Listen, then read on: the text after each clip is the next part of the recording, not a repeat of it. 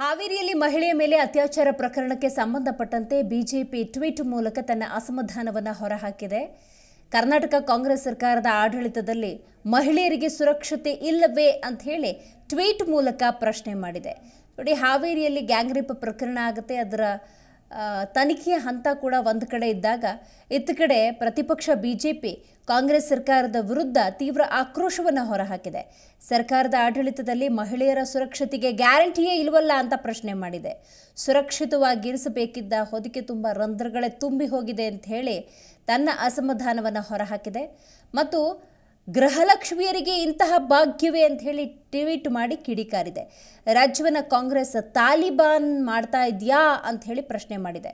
ಬೆಳಗಾವಿಯ ಒಬ್ಬ ಮಹಿಳೆಯ ಅಮಾನವೀಯ ಕಿರುಕುಳವನ್ನು ಕೂಡ ಈ ಸಂದರ್ಭದಲ್ಲಿ ಬಿಜೆಪಿ ಪ್ರಶ್ನೆ ಮಾಡಿರುವಂಥದ್ದು ಜೊತೆಗೆ ಮತ್ತೊಂದು ಇದೇ ರೀತಿಯ ಪ್ರಕರಣ ಆಗಿರೋದು ನಿಜಕ್ಕೂ ಕೂಡ ರಾಜ್ಯದಲ್ಲಿ ಮಹಿಳೆಯರಿಗೆ ರಕ್ಷಣೆ ಇದೆಯಾ ಅನ್ನುವಂಥ ಪ್ರಶ್ನೆಯನ್ನು ಮಾಡಿದೆ.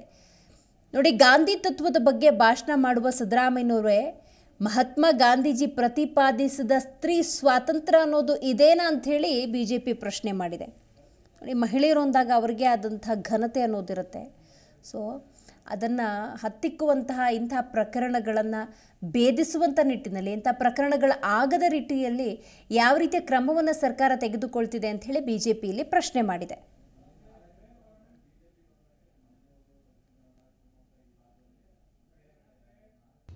ಪ್ರತಿಕ್ಷಣದ ಸುದ್ದಿಗಾಗಿ Zee Kannada news app download ಮಾಡಿ. Live TV latest updates entertainment lifestyle technology ಸುದ್ದಿ ನಿಮ್ಮ ಅಂಗೈಯಲ್ಲಿ.